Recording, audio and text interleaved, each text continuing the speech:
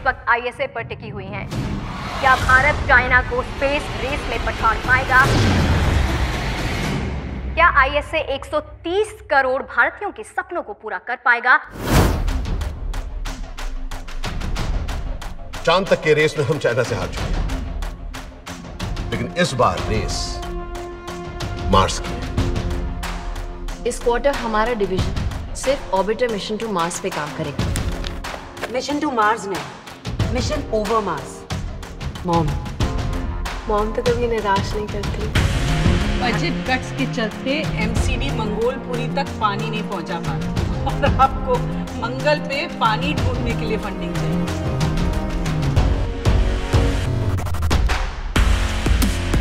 Been hungry for this opportunity for a long, long time. अगर हम China के साथ स्पेस रेस में हैं and China beats us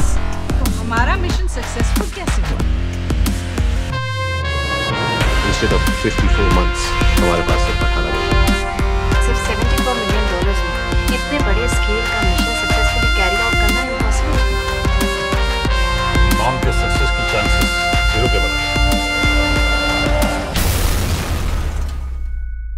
वो China's mission to Mars guess करो उसका क्या हुआ? क्रैश कर गया। तुम्हें कैसे पता? चाइना का माल है। चले तो चाँद तक नहीं तो शांत तक। शुरू होता है सुपर कंप्यूटर सर के ऊपर के बादल की प्रेडिक्ट कर सकते हैं आपको मार्स पे जाना किसने बोला ये? किसने बोला ये?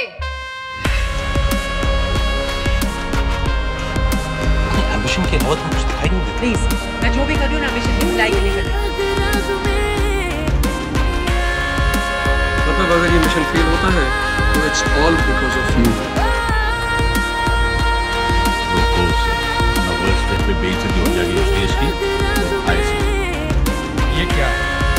mission fail हो गया तो आप ये वाला स्पीच पूरे देश की उम्मीदें इस मिशन के हैं। मार्स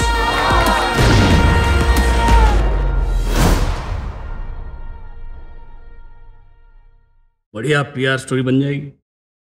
आईएसए की ऑल वुमेन टीम आईएसए में टीम साइंटिस्ट और इंजीनियर्स की होती।